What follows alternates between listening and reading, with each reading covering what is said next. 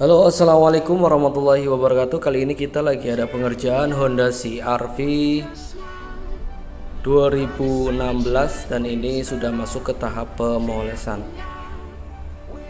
Nano Ceramic sendiri berfungsi untuk melindungi cat Agar mobil anda itu tidak cepat kusam Ataupun terhindar dari eh, noda-noda uh, yang bisa merusak cat dan ini adalah salah satu pembersihan jamur kaca yang menempel pada kaca atau yang sudah mengerak.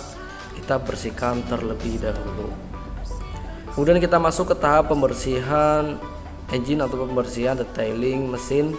Jadi mesin-mesinnya harus dibersihkan terlebih dahulu sebelum di nano ceramic setelah itu kita masuk ke tahap nano ceramic itu sendiri. Nano ceramic berfungsi untuk melindungi cat dari beberapa noda atau menjaga cat agar kinclong selamanya.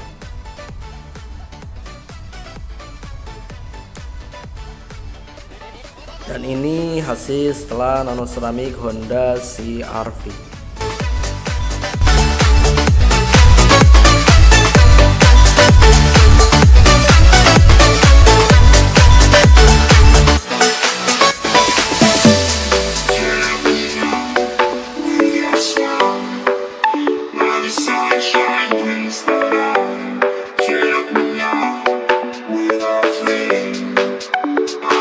Thank you.